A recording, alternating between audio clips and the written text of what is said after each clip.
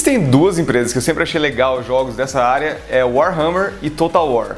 Warhammer sempre com aquele universo próprio que eles criaram do, de vários clãs e raças diferentes se enfrentando e o Total War com a parte estratégica e jogabilidade realmente surpreendente que me tirava várias horas ali tentando conquistar o mundo inteiro que eles criavam.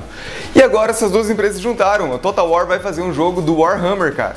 E vai ser um jogo onde você vai poder escolher entre várias raças e vai ter várias batalhas do estilo do Total War.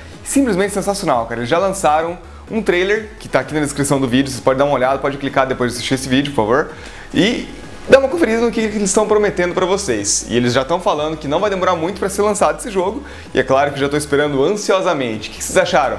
Dá uma olhada no vídeo que está aí atrás, aqui no link de baixo.